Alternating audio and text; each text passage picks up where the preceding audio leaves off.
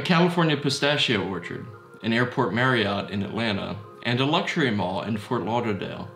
Oh, and let's not forget the old Patriot News building in downtown Harrisburg. What do all these places have in common?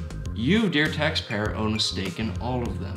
Thanks to several decades of investments made by the Public School Employees Retirement System, or PSERS for short. That's the pension fund that safeguards the retirements of some 500,000 educators statewide and is currently under investigation by the FBI.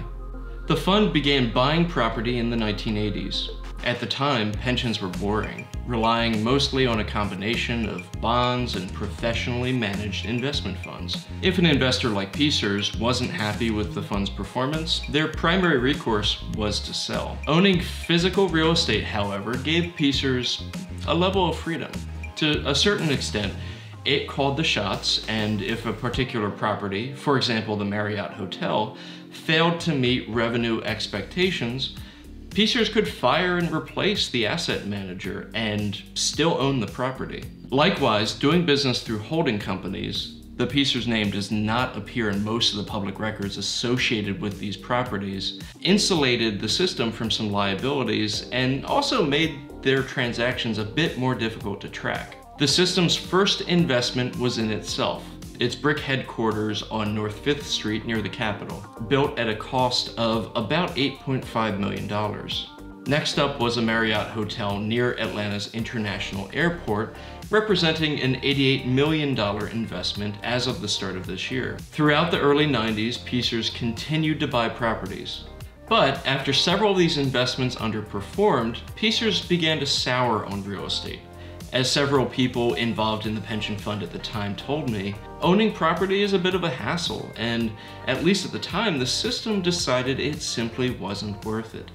PSERS even tried to sell some of these properties with mixed results. PSERS gave it another go in 2016, ultimately investing $431 million into manufactured housing. These communities boasted a steady stream of revenue from people who, in many cases, own their homes but rent the land they're situated on. It also picked up four apartment complexes and thousands more acres of farmland. The investment that drew the FBI, however, is a bit more close to home. For decades, 812 Market Street was the home of the Patriot News. In 2010, after PennLive's parent company relocated the newsroom, the old building was put on the market. There it sat for seven years, at which point a company called 20 Lake Holdings purchased it for $644,000. 20 Lake is a subsidiary of Alden Global Capital. That name may ring a bell because Alden is a hedge fund best known for acquiring and gutting newspapers via layoffs and the sale of assets. 20 Lake specialized in scooping up former newspaper buildings and flipping them for a profit, even if Alden didn't buy the underlying newspaper business. Six months after that transaction, 20 Lake turned around and sold the old Patriot News building and several other parcels to PSERS for $1.6 million. Not a whole lot is known about the mechanics of the deal, and PSERS, citing the ongoing investigations, has kept mostly mum about it. But one former PSERS employee had this to say. Someone got hosed.